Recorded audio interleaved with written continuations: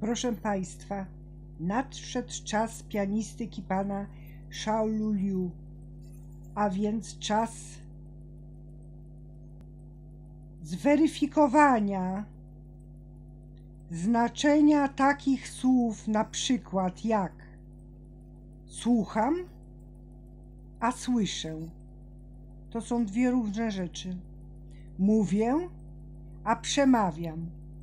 To są dwie różne rzeczy. Tworzę, a odtwarzam. To są dwie różne rzeczy. Interpretuję, a unaoczniam. Też są dwie różne rzeczy. I tak można by wymieniać bardzo długą listę. Mili Państwo, przemyślmy sprawę reklamowania. Czy w ogóle warto cokolwiek reklamować? No, chyba że się chce zdobyć dużą kasę.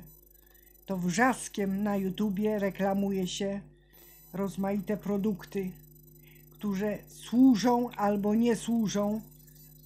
Prawdy nie dojdziemy.